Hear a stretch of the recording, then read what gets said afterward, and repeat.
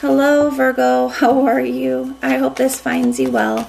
So, we are going to be doing your weekly love reading and everything that you'll need to know about this reading or about scheduling your personal readings. All of that will be in the description box below for you. And we are inviting your angels, spirit guides, and ancestors to come in and assist us with this reading today. All right, Virgo, we're taking a look at love for you. Your overall energy of your love situation or your love life is the Nine of Pentacles. Your energy showing up as the Nine of Swords, Nine of Wands.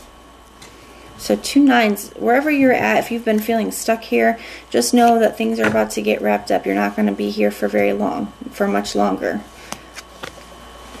You got the temperance. Yeah, I did feel that. I feel like you guys the nines to me do re represent something getting wrapped up, but it's a very challenging energy, okay?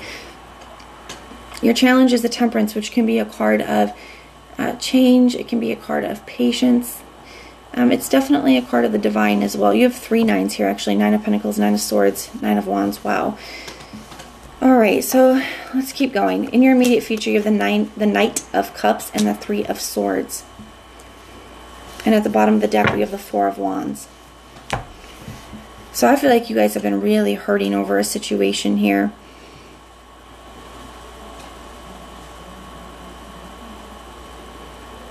Some of you guys are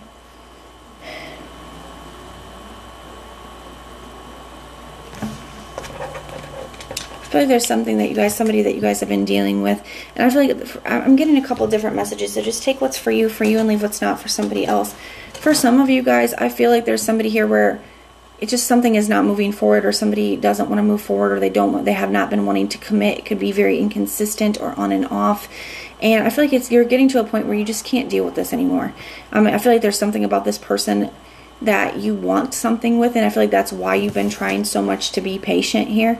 But i feel like you just can't keep doing it. Um, you're like you know what? I just can't keep doing this. And of wands is it's an exhausted energy you know you just keep going and going but it's it's getting to a breaking point with that nine of swords energy. So it's like you know what maybe as much as i don't want to do this maybe i'd be better off if i'm just on my own with this nine of pentacles energy. For others of you i feel like if there's not a specific person right now that you're dealing with in that energy i feel like it's just getting very hard because you guys feel like you have been on your own for a while and i feel like you're just wanting love you're wanting to find somebody and i feel like it's starting to get very hard because it feels like it's not happening for you. It's like it's just getting you very, very upset. And you've been trying your best to be patient and wait for something to come in or wait to find your person. And it's just been very hard. So tell me about this Nine of Pentacles energy. Got the Fool card in the reverse and the Moon card in the reverse.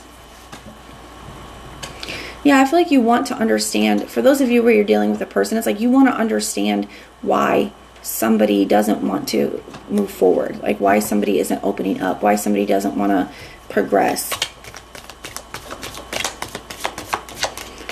Tell me about this Nine of Swords, Nine of Wands. We got the Hangman in the reverse. Yeah, a lot of you guys are moving to a space of, in the devil, you're seeing this as something that's unhealthy and toxic for you. And you're, you're, have a lot of fears about releasing it because you have, feel a very strong connection and you want this. But at the same time, you know that you cannot continue to deal with um, this energy here. It's too hard on you.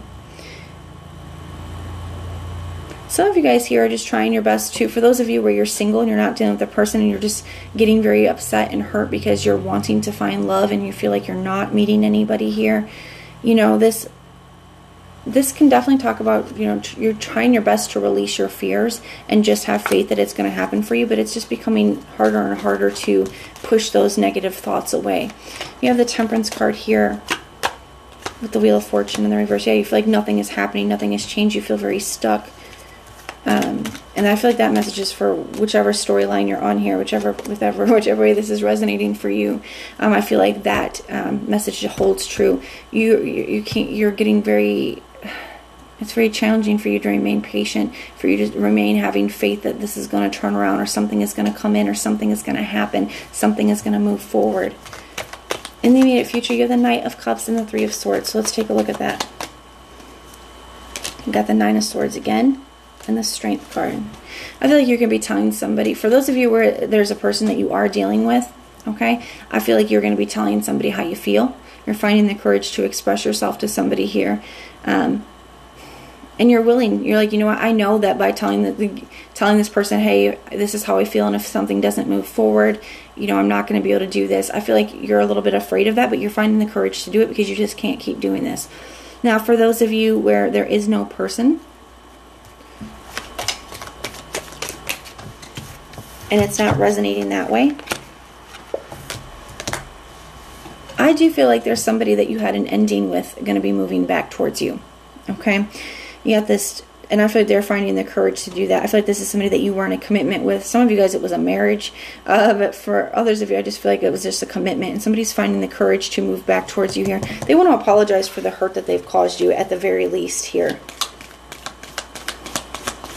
You do have the Four of Wands here and the King of Cups, so somebody does still have a lot of love for you. I feel like this message holds true either way. You know, I think you might be surprised at how this conversation goes. I think you're going to really open up and break down and express yourself to somebody. And I feel, for those of you where you're dealing with somebody here, and I feel like you are going to um, be surprised in a good way about how this conversation goes. Um, I feel like this person does have feelings for you, and I feel like they are going to open up to you here. Now, for those of you where it's another, it's a past person coming back towards you, I still, I feel like you're going to be um, I think you're going to break down and just express to this person how you feel. They're going to break down and express how they feel about you. And I feel like you're going to be very surprised at the outcome of this conversation. But that is what I have for you, Virgo. Now, if this resonates, let me know. And if it does not, check out your other placements. Everything that you need to know, whether it's about this reading, scheduling your personals, Patreon, or the tarot course, all of that is in the description box below for you. And if you want personal prayers for any reason, you just put the little prayer emoji in the comments down below and I will go through and pray for you. But if this is where we part, thank you guys for being here and supporting me, and I will see you soon.